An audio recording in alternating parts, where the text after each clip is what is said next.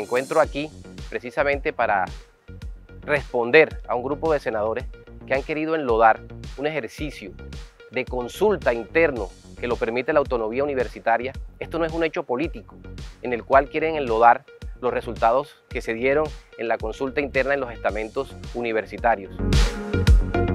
Hoy queremos decirles que esto no es un acto político y por lo tanto nosotros no nos sentimos en ningún momento que hayamos cometido ninguna irregularidad como ellos pretenden ahora hacerlo ver a la opinión pública en general.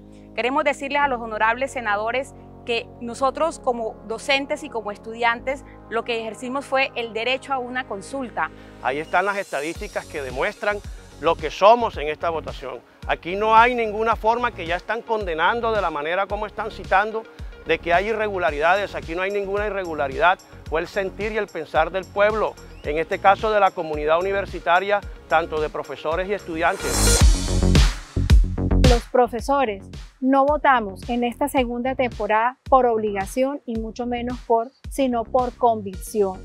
Estamos aquí hoy pidiéndoles que nos respeten la autonomía universitaria. Por favor, respeten la decisión de los estamentos de la Universidad del Magdalena que en mayoría decidieron que en la consulta continuara el doctor Pablo Vera por una universidad aún más incluyente e innovadora.